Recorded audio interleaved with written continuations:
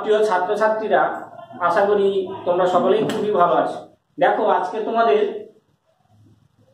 KG two English U for four word দিয়ে কিছু তোমাদের শেখাচ্ছি। দেখো ইউ ফর ফরওয়ার্ডস প্রথমে লেখা আছে umbrella U M B R E L M A umbrella umbrella মানে কি বলতো? ছাতা। এবারে দেখো U N C L E uncle uncle মানে কাকা। U R N urn urn মানে কি বলতো? কলসি। ঠিক আছে। U N I T Y unity Ekta. Unity মানে হচ্ছে একতা। তাহলে আমরা ইউ ফর দিয়ে ফর ওয়ার্ড শিখলাম।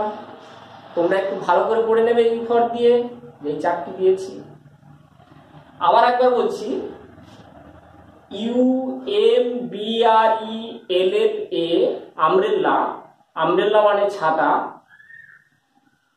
U R N urn urn মানে কলসি U N C L E uncle uncle মানে কাকা U N I T Y unity মানে একতা।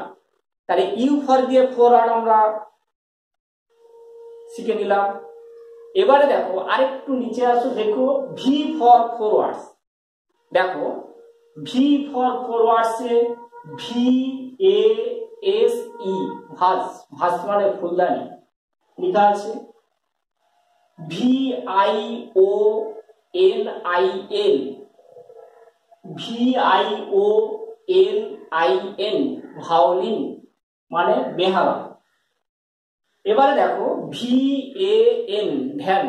Van মানে ভ্যান গাড়ি বা মালগাড়ি বলতে পারে। ভ্যান গাড়ি লিখেছি, এটাই দেখবে।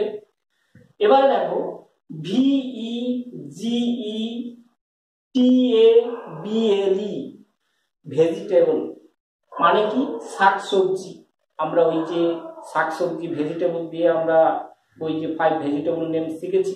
সেখানে এই ভেজিটেবল নামটা আছে, তোমরা ভালো করে জেনে নেবে। তাহলে V E G E T A B L E vegetable শাকসবজি।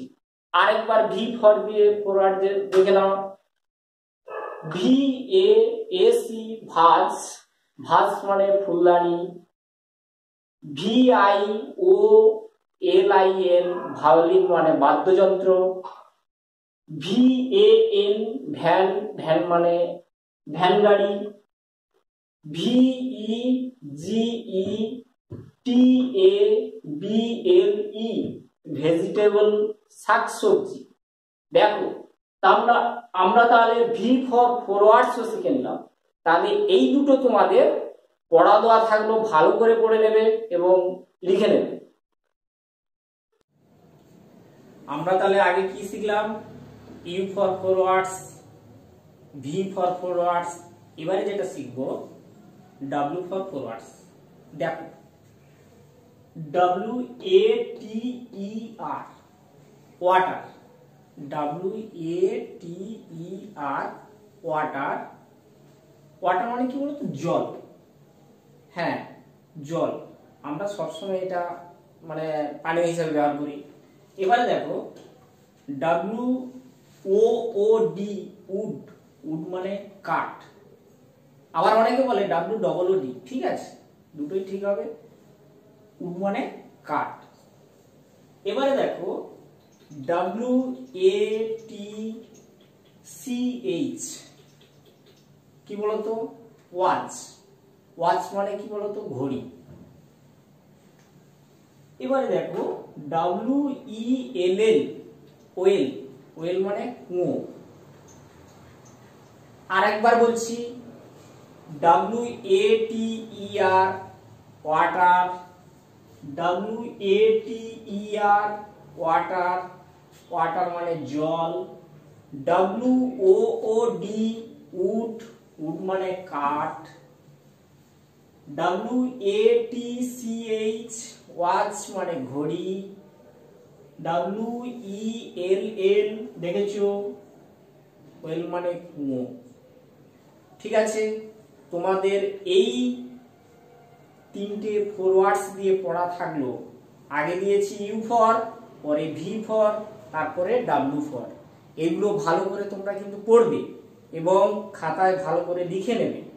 তাহলে পড়াটা ভালো করে তোমরা করতে পারবে। ঠিক আছে, ভালো থাকবে।